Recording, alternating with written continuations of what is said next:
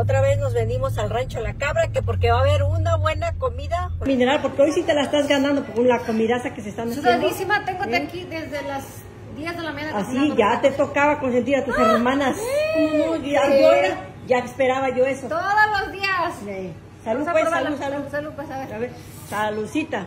Sin alcohol, porque estamos en Ey, la abstinencia. pura agua mineral. ¿Crees? Tu michelada de agua mineral, eh, nada de alcohol Sí, ya. tú sabes que no tomo alcohol. ¿Qué tal me quedó? A ver. Ok, tu michelada. Vamos a probarla a ver si está buena. Otra Bibi, saludcita, ¿eh? Salud, gracias. Salud, salud, saludcita. Salud. De la buena. De la buena.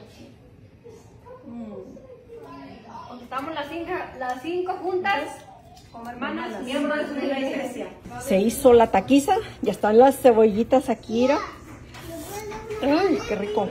Por acá están los chilitos güeros, toreados.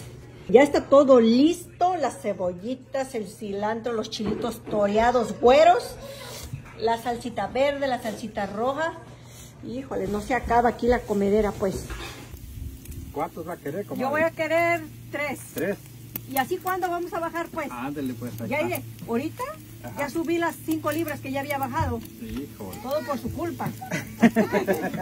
Sí, ¿verdad? Tiene que haber algún, algún culpable. No, sí, pues sí. Con tanta comedera. Siempre. Ahí está. Y me quema cuatro, ¿eh? ¿Verdad? Sí. Ándale, pues. Ahí los voy a quemar ahorita. Nos vamos a preparar nuestros taquitos. Primero va el cilantro. Así. Y ahora sí con su cebollita. Le vamos a poner aquí su rechiquen también. Salsita verde. Quedó así picosita, pues sabrosa. Y la salsita roja. No puede faltar el chilito güero. Para los tacos no hay como los de la cocina de Bustamante. Tan deliciosos los taquitos. Riquísimo. ¿Hasta cuándo se va a acabar la comedera? ¿Hasta cuándo se va a acabar la comedera? ¿Todavía la vamos a seguir? Domingo. ¿Domingo? Hasta el domingo todavía vamos a seguirle aquí. No, ¿cuándo vamos a bajar pues? Ya subí como cuatro libras. Yo subí, yo subí ya 8 libras, las que ya había bajado, ¿cómo ven? No, pero con estos tacos no me importa, una libra más no es nada. Ahora sí estás bien contento, ¿verdad? Como hicieron una de tus comidas. Por fin. se- Porque ayer no creo que hayas comido, ¿verdad que no? Ayer estuve en ayunas todo ¿No comiste el pozole, ni chivo, ni pancita? no comió, pues. ¿No comió? Pues no comí. ¿Y, y luego qué hiciste? ¿Qué comiste en todo el día? Pues me aguanté ir a para estos taquitos.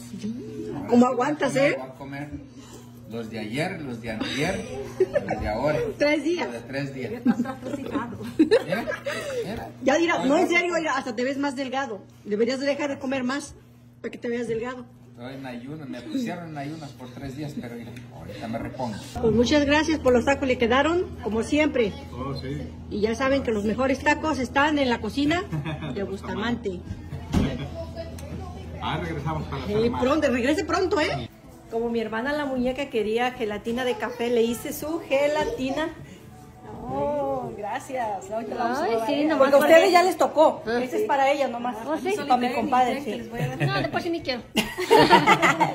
Mi hermana Silvana se hizo un postre, un arroz con leche con calabaza, le quedó bien rico. Yo nunca lo había probado así, pero le quedó delicioso. Y todavía seguimos con la comedera allá en el rancho La Cabra, porque ya saben que cuando hay visita es cuando más nos juntamos. Y eso es lo más bonito, ¿no? Poder estar todos en familia. Y ya saben que así son nuestros convivios. Saludos.